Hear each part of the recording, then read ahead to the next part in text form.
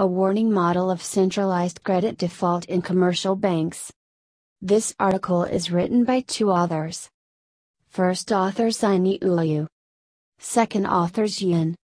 The development and operation of commercial banks have a great relationship with risks, which can not only bring profits to banks, but also bring about crisis. Among them, credit risk is the most important risk.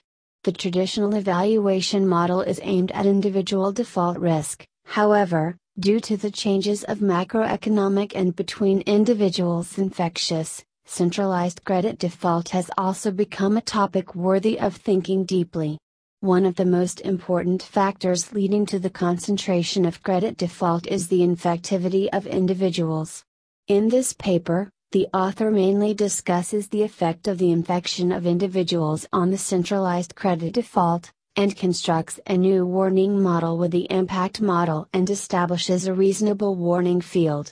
When the time interval of two consecutive defaults is less than that of the warning region, the bank should take preventive measures immediately.